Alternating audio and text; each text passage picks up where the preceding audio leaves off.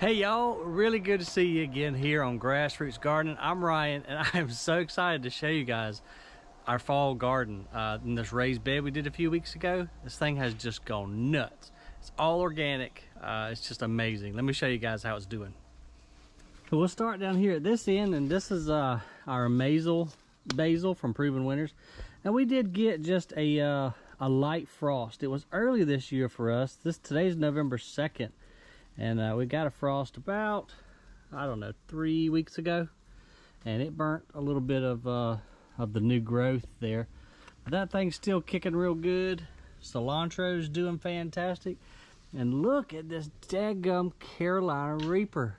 This thing it's got probably I don't know a dozen beautiful peppers on it. I don't really know what I'm gonna do with them because they are that's the hottest pepper in the world. So I'm not messing with that but anyway, the plant itself is just so healthy and looks just amazing. And then we've got some potatoes that, uh, let's see what's on the bottom here. Let's see what's on the, on the hook. They kind of got left in here. Oh, it's a nice little baby red potato. It's not really time for them uh, this year. Plus, he's in a lot of shade. And so I'm just going to pull them out. But still just neat to see how well they're still doing. There's got a little few baby shoots on there. And then our um, our lettuce here, if you remember, this they were all clumped together and I tore them apart. And we had one teeny tiny baby one right here. Looks like we might have lost him. But the rest of them's doing good. Look at that. That's going to be delicious in a salad. And we, you know, I'm noticing we hardly have any bug damage and that's I think that's due to the garden's just so healthy right now. You know, they're able to really resist any type of bugs that may come along. But look at these collard greens. Man, that's making me hungry right there. Look how beautiful these leaves are. Just gorgeous.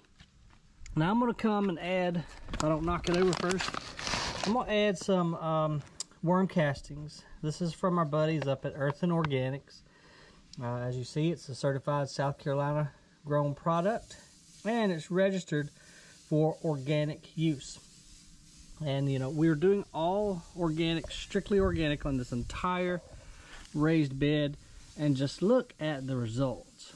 I mean, they speak for themselves. They just look so healthy, so beautiful. And look at this kale. Let's try a piece. And the other great thing about uh, organic gardening is you can do this. And you don't have to worry about chemicals. That's not bad. I gotta tell you, kale's not my favorite, but man, when it's fresh like this and crisp and crunchy, that's good. So that's the benefit about organic gardening. You know, I was thinking the other day, we've got a nitrogen plant close by the airport, and I was riding by it, and this thing's got ginormous smokestacks, smoke just billowing out the top. There's ponds all around it that they say are contaminated and got two-headed fish and all this other mess. And I was thinking, you know, we used to use a lot of man-made fertilizer back in the day, and we still do. I mean, you you can't can't get around it. The nursery application, we have to use slow release in the in the containers. Uh, unfortunately, you have that's just what we have to do right now. Um, but I remember, you know, going in the garden with Dad and helping him spread ammonium nitrate on the corn. And if your hand had a little bit of moisture on it, or sometimes even if it didn't, it would burn. I remember Dad would say, "Well, run, wash it off real quick." That's the type of material that we're putting on food that we're going to eat, you know. And it just makes no sense when you can go an organic route. It's super easy and you don't have to worry about all the chemicals and the junk that you're putting on your food and then putting in your body. It just makes me feel good knowing, you know, everything that we've used in here is all organic. And I'm not some huge tree hugger. Yes, I'm a plant nerd. Um, but, you know, going, I thought, used to think going organic, oh, you had to be some kind of hippie. But now, getting a little bit older, I realize the health benefits and just the, the benefit of the earth you know, in general. But anyway, I'll get off my soapbox now. Our broccoli is looking really, really good. This is some of the prettiest broccoli I think I've ever grown. And these plants are only like, what, a month old from seed? I mean, that's just crazy. Our little purple sage, if you remember, we stuck him over there. He looks awesome. That kale's actually really good. It's, the taste is still in my mouth and it's so fresh. And then uh, this is our mustard greens. Look at that. Cool frilly uh, margins on the leaf. Won't be much longer and we'll be able to pick some of these greens. I'm going to probably mix the mustard and collards together and, and cook them, you know, jointly. And they kind of add, the mustards are a little more bitter than the collards, so it gives you just a little bit of, a little bit of snap in your meal. And then this is the ghost pepper. It's looking really good. Got a good many peppers hanging on it and got a lot of flowers, so it's going to continue producing. And our jalapeno, this is the one that, one of the guys we had to move, and he's looking okay. I mean, he's kind of struggling a little bit. Looks like tip got broke. But he's got some fruit on him nonetheless. He's coming along. And let's see. We planted some seeds down here. This is going to be our radishes. And let me get y'all in there where you can really see. We've got them planted a little bit too close. The seeds are small, so I just kind of sprinkled them down a furrow. But what we need to do is come in here and cull the smaller ones because if not, they're going to compete for space down there and we won't get any large radishes like we want. So I'm just going to come in here and selectively thin them out. See, we don't want them growing that close together. So I'm going to get this guy right here and just try to pinch him or just pull him on out like so and this guy as well and just move right on down the line y'all kind of get the idea I like to have at least like an inch in between the stems but these are just way too crowded so we're gonna go through and thin those out but look the other cool thing is uh is you can eat just get a little bit of that dirt off. That's cool. I like radishes. They got that little pepper zing to them in the aftertaste. But it's just nice being able to pull it right out. And if you get a little bit of the dirt in your mouth, it's no big deal. It's not going to hurt you. It's all organic. And so our carrots are doing well. They also need to be thinned. So we'll just kind of, I'll come through here later on, bore, bore you guys, y'all watching me, but we're just gonna pick out the smaller ones and leave the, uh, the bigger guys. And again, this is just because they're gonna compete down there for growing space. It may cause them to grow deformed or just be, you know, too small. Got some more broccoli stuck over here. This thing is just really kicking butt, y'all. I'm really super proud of our little raised bed. I bet you in about another week or two, you're not going to be able to see the dirt down there. I mean, this thing is going to get, it's to get pretty massive, and that's when the, you know, you really can be proud of what you, what you've grown because it's just so healthy and doing so good. Then you can take this stuff right in the kitchen and prepare prepare yourself a nice, fresh, organic meal. But then awesome I'm really proud of that little garden, y'all. I'm, uh, oh, I'm just really proud of it. So let's go walk around and uh, see what else is happening in the garden, especially right out here in this little area since we've been working on getting this porch area cleaned up and making it look pretty. Oh, there's looking back. That Isn't that wood pretty? I like um, the fact that we stained that. I think it just really sets it off. And again, kind of matches the, excuse me, kind of matches the porch. And our little uh, purple pixie lower loropetalum is doing like we told him and growing out over the brick so um, you know that was this was the project we did when we planted on top of the ground so to speak so you can kind of see how I've just mulched all up under there to kind of help with erosion but that's gonna look really neat once he trails out and then our uh, Asiatic jasmine vine is uh, doing his thing going across the steps there that's our matching purple pixie on that side. I don't think I had these planted in the last video, but I did these little junipers. And we're gonna let them do the same thing. You know, run out on top of the uh, brick steps there. Our coffee cups colocasia, the frost got it too. It does have some new leaves coming out, and this is one of my favorite plants. I talk about it every time, but this is the one that collects the rainwater, tips it out, and stands back up. It dances in the rain. And we did a video on just on this one particular plant because it is on my top, probably top five uh, most favorite plants. But nonetheless, we'll come through here. We'll take our pruners just like so. And we'll just come in here and get rid of the burnt leaves. Pretty soon we'll get, um, you know, probably a pretty heavy duty frost here in another two to three weeks. And it's going to kill the whole thing. The whole entire plant is just going to melt and uh, turn into compost. Got one on the other side that we need to clean up as well. And talking about things that, you know, are to go dormant, this banana, this is a hardy banana. And obviously it did not like the little frost that came through the other night. So what I'm to do I'm probably just to leave a foot and just go ahead and chop him off. I'll mulch uh, really heavily in this container. I'm now I'm in the ground. I know he would come back for us next year. We're in zone 8A and I think they're hardy down to maybe 7B. Uh, but anyway, in this container, you know, obviously it's not in the ground. It doesn't have that insulation.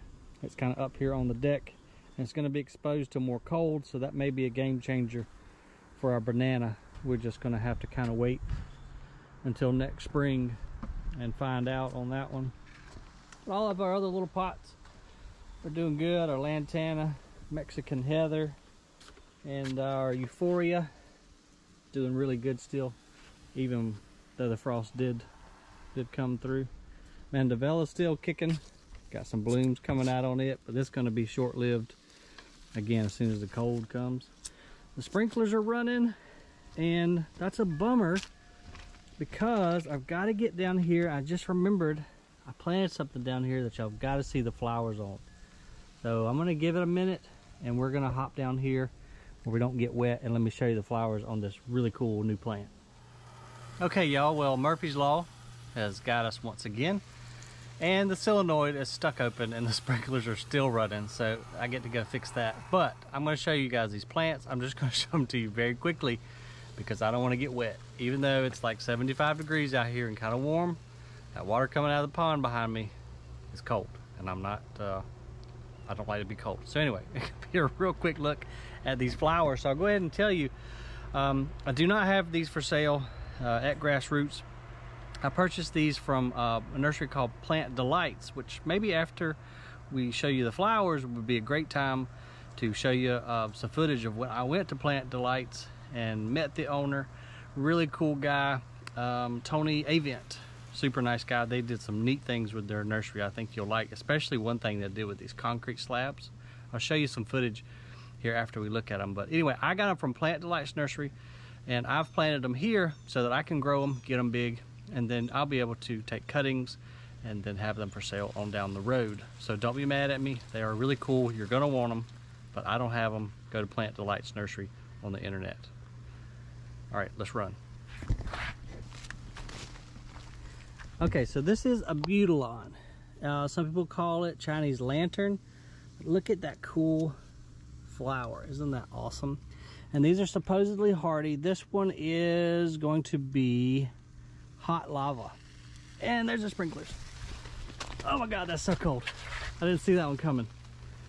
All right, so there's one of them called hot lava. And then the other one, which has kind of got knocked down a little bit by the, the sprinklers. Check this one out. Just a real nice, really pretty orange. And the name of that one before the sprinklers come is uh, Bartley Schwartz. So both of these are Abutilon. And uh, real quick, this is that Salvia Anthony Parker that wasn't in bloom last time I showed you guys the, the porch. But she's blooming now, and look at that beautiful purple. And this salvia gets pretty big. That's a young one. It's probably gonna maybe even double in size. I'm really loving this plant so far. I can't wait for it to get really big and, uh, and do its thing. But first, before we go spread a little fertilizer in our raised bed, let me show you that footage from Plant Delights Nursery. This is up near Raleigh, one of the coolest nurseries I've ever been to by far. Very special treat for you guys today. We are at Juniper Level Botanic Gardens up in Raleigh, North Carolina at Plant Delights Nursery. This place, we just got here, but it looks amazing. So we're gonna let you guys walk around with us, check it out. Let's go. Check it out. You can actually walk under this waterfall.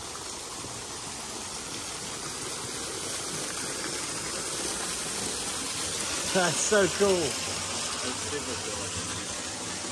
It's actually cool too under here. Feels good. Amazing.